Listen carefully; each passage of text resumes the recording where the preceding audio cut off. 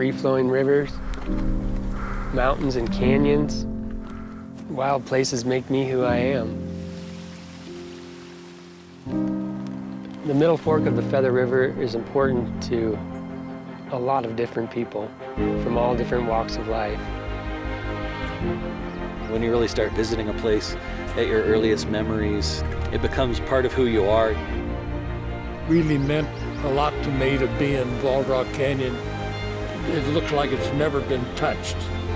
It's a good feeling to know there's still a place or two that you can go, and that's what you'll find.